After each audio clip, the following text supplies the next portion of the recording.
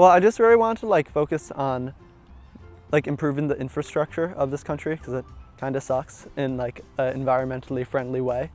And I think that would just like help a lot of people. And I just really like all the skills that you have to use to actually accomplish that. So, well, I just like I applied to become a field station research intern because I could like I saw an opportunity to use all the engineering skills I've been learning in the classroom um, and in a like really cool environment that I could like actually go into the field and do kind of fun stuff with. So I really like it.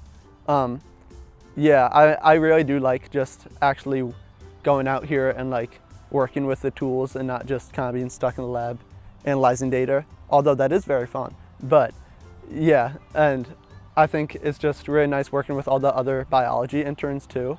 And it's cool to kind of see like all the different points of views with all the different types of interns we're getting. So I really like that. So the benefit to getting the hands-on experience is I can really apply the things in the classroom and see how they actually work, not just, and they don't just remain as concepts really. They're like, okay, this is how I can use this for my project. So it really sticks in my brain for like future use. So yeah. So my project is um, I'm comparing the hydrology between a disturbed forest and an undisturbed forest.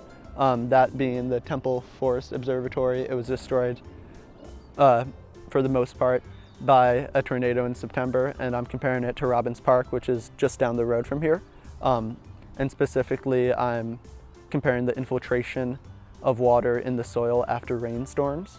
For one, like I was hoping to discover how vulnerable a forest like the um, the disturbed forest is to like accumulating runoff after storm events because that could like bring contaminants into rivers and um, and like just pollute the waterways. So I was hoping to see like how if a disturbance kind of did degrade the resistance of the forest to that cycle of runoff.